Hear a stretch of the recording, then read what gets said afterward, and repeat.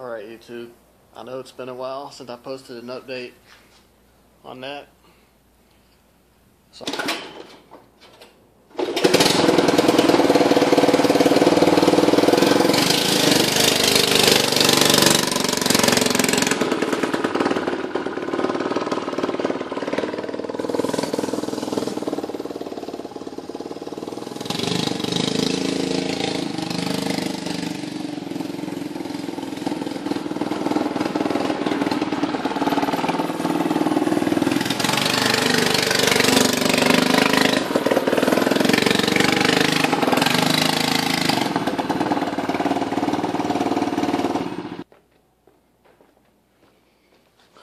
Well, turned out pretty dang good. it's just I'm running on no air on one tire, so I sure hope you guys saw that. I started drifting sideways at low speed, so it's pretty cool. Let me see. There's some light tire marks there. Oh man, I got too much power for this thing. Check this out. So much power, I'm burning the clutch. That's with a 6 to 1 gear ratio.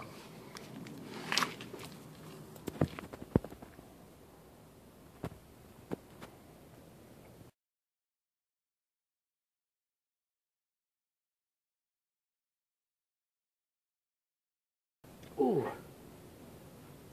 I don't know if you can see that, but it burns quickly.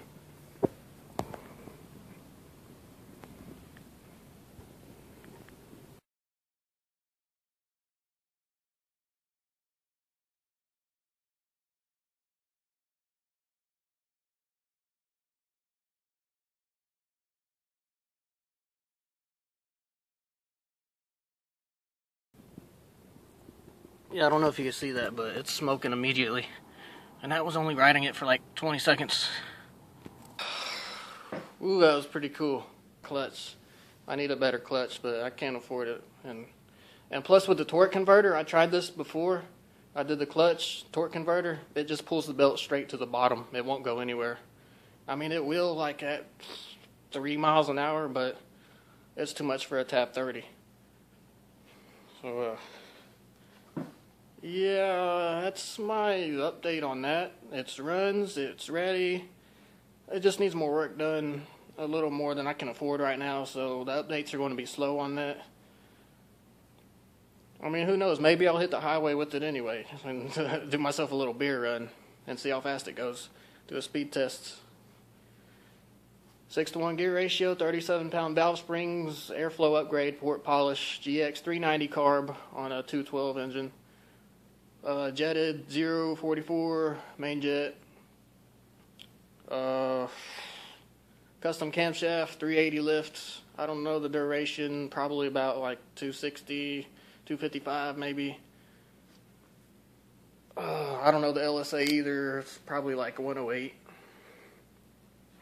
107 probably. But yeah it's just a little show and tell.